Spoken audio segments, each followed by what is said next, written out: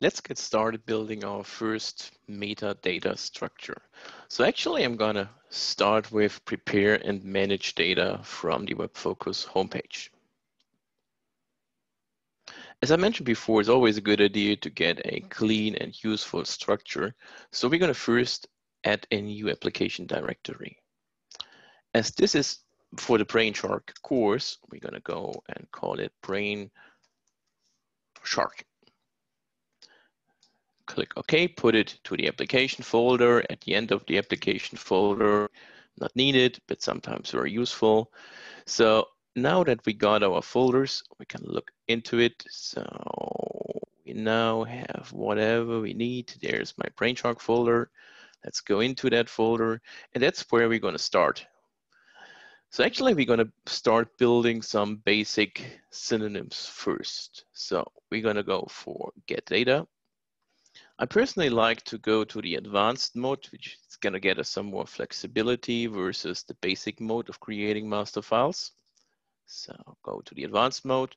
We're going to go for the hyperstage database, go to my first connection, and we're going to build our information in the Brainshark folder.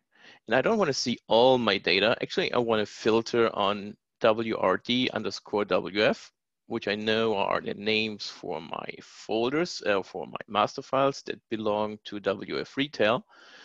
And actually, I'm going to start with a cluster synonym, even if I don't want the cluster, because base synonym only allows me to create one master file after the other. So let's go in there, and that's what we have. So actually, I know that time is, of course, a dimension. I know vendors that a dimension I want to use. I know that I want to go for the geography. I know I want to go for the product, I want to go for the store, and actually I want to go for, what else we going to go? Let's go for the customer, of course, because customer first. So actually that's the dimension tables that I wanted to have in here. So, okay, with those dimension tables, the only thing left in here is actually getting our fact table, which is this one here, the retail sales. I'm going to tell the system that's going to be my most important fact table. So I've got, I selected what I wanted. I select add. And we, that way we're going to put whatever we need into there.